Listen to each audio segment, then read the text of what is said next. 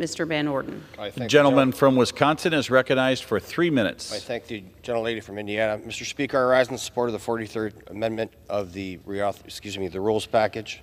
The United States has long been recognized as a global leader in aviation safety, and each day thousands of men and women work tirelessly to ensure smooth operations at our nation's airports. However, in recent months, we've had we've witnessed a concerning increase in fatalities of our ground crews, especially in rural airports like those in my district. First and foremost, it's crucial to understand and acknowledge that historically, the United States has been a leader in aviation safety. For decades, we've set the standards for the rest of the world with safety protocols that have undoubtedly saved countless lives. Nonetheless, we cannot ignore the disturbing trend that has emerged in recent months. Close calls in our airspace and tragedies at our airports have become, have become alarmingly frequent.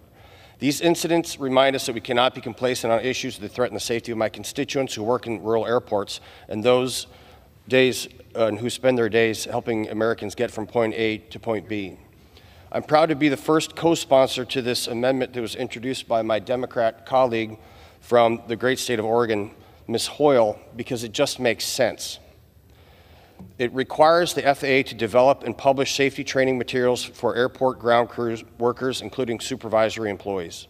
This amendment will help in- incidents involving aircraft ingestion and jet blast hazards decrease. And it is critical to keeping the airport workers in Wisconsin's 3rd Congressional District safe.